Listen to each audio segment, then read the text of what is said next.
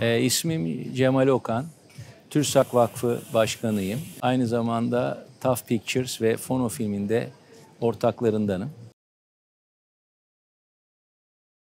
Geleceğin sineması e, hem vakıf olarak hem benim şahsen en önem verdiğim festivallerden bir tanesi.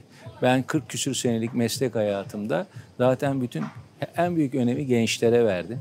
Ve bu gençlerle bizim önümüzün açılacağına inandığım için hep onlara destek oldum.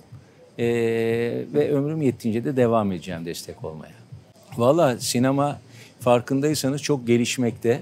Hem dizi sektörü hem sinema sektörü büyük bir gelişme içinde bu arada. Ee, onun için de yeni yetir- yeni insanlara ihtiyacımız var. Biz de vakıf olarak zaten bunu misyon edindik. Bu gençlerimizi sektöre e, en iyi şekilde kazandırmak için bunun için elimizden gelen her türlü desteği yapacağız. Aşk diyeceğim, başka bir şey demeyeceğim.